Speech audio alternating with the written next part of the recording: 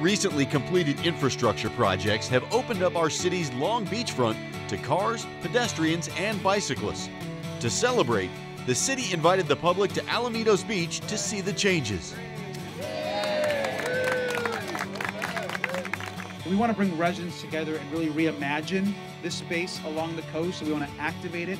We want it to be safe. We want people to use uh, the, the, incredible amount of sand uh, and coast that we have here. So we're really excited about, about the future.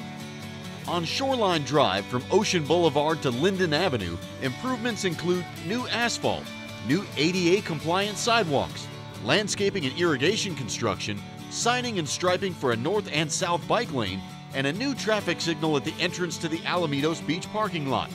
The parking lot also got a new look with an asphalt overlay and drought tolerant landscaping and irrigation.